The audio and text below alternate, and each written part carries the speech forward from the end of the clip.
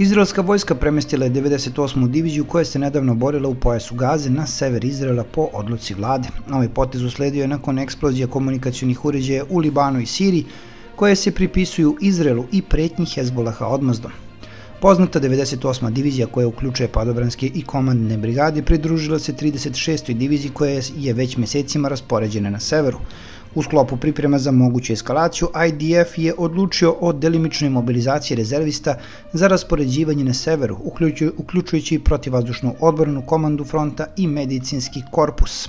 Komandant Severne komande IDF general major Uri Gordin izjavio je da je vojska odlučna da što pre promeni bezbednostnu situaciju. Komandanti i trupe su potpuno posvećeni i na vrhuncu su spremnosti za svaki zadatak koji može biti potreban, rekao je Gordin. U saopštenju IDF-a se navodi da su snagi 179. i 769. brigade završile dve vežbe simulirajući scenarije manevrisanja na neprijateljskoj teritoriji i evakuaciji ranjenih sa fronta pod vatrom. Izrael je dodatno potvrdio fokus na severu, severnu granicu odlukom da odloži komemoraciju nastradalih vojnika brigade Golani, koja je trebala biti održana u sredu uveče. Ministar odbrane Joav Galant i general major Ori Gordon su trebali prisustovati događaju.